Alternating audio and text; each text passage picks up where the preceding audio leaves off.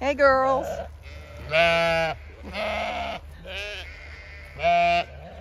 Walking down here because I have to open a gate for the tree surgeons are here. We have a tree, it's right there. You can just barely see it. That's completely dead. It's a big beech tree, but it's on the road. And as you can see, I have to let the tree surgeons through the gate where the sheep are. And I don't want the sheep to suddenly decide they all want to go out the gate at the same time. So there we go. That's what I'm doing.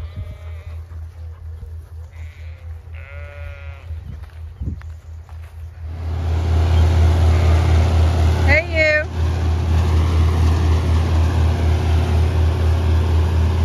You're gonna have to get out of there.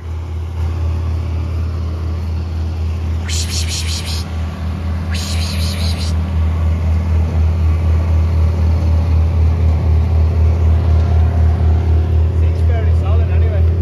Yeah, which is good. Yeah. So it's good and solid. It'd be good fire. It would. Lo- I'd love to make some boards out of it. Yeah, it. definitely. You don't have a board cutter, do you? We do, yeah. You do. We do, yeah, yeah. Oh, you might have to come back and cut some boards Yeah, for sure. 'Cause Oh, it's- definitely be worthwhile keeping some of that anyway. well. It's got a good straight bit Yeah. up to about there where it forks. Yeah. There's, but I mean, it's so sad. It's so dead. How long has it been dead? Uh, to be honest, I ha- I kind of saw it was feeling unwell last year, and um, I was hopeful, but obviously with all everything leafed out, I was like, no, that's a goner. Yeah. And you know what? I hate to say it, but the ash tree behind, Yeah. when you take that out, its balance will be off. Yeah. So you might have to take that down too. Yeah. I hate, to, but do you do you not agree with me?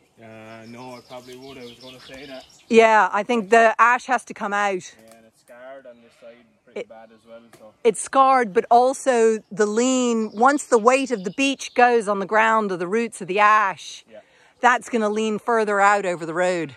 yeah, yeah, definitely. Yeah, you're dead right. So the ash will have to come down as well, sadly. Well, And the planes tree is fine. yeah, that's all good. That's nice and healthy. And thankfully, that horse chestnut is as well. Well, there's a nice little spot for another tree to go back in. Oh, no, I'll be putting, there will be another beech tree. Oh, nice. Because that's a lovely, the crab apple next to you. Yeah. It's a beautiful crab apple and uh, fruits beautifully every uh, year. As you can see now, it's fruiting. Yeah. And it's so beautiful in the spring. It's amazing. You hear all the insects? Yeah. I know you don't hear that often around now, do you? Nope. Definitely not. And that's why I have such a good swallow bird population. It's like when you get out of your vehicle up at my place, everybody was like, the bird song. And I'm like, Sounds like a swarm of bees, but it's not. no, it's not. It's just a really healthy population of flies. Look at those. Oh yeah, nice. That's fresh this year's one, yeah. Yeah, they're fresh, yeah. Nice. On the feeding on the old stump. Yep, they're feeding on the old stump. And what did you call those again? Uh, dryad saddle. What's uh, Cerioporus Cerioporus. formosus. Yeah, yeah. And what is the slang name? Uh, dryad saddle is the Dryad saddle. yeah, dryad saddle. Yeah. I'd never heard of dryad saddle. yeah. and is it an edible one or no? Uh, yeah, when it's fresh like that, it can be. Yeah. And what? do- How would you cook it? Um, I'm not too sure what the best uh, recipe is, but I think it might just be a bit of butter in a pan. And garlic. Yeah, maybe. Yeah, yeah, yeah. I, I actually haven't tried it yet, but um, Well, you should take some home it, it, yeah, yeah. and let me know. Yeah, You can try a few, and I can give you some eggs to go with it. You can have eggs and mushrooms from here.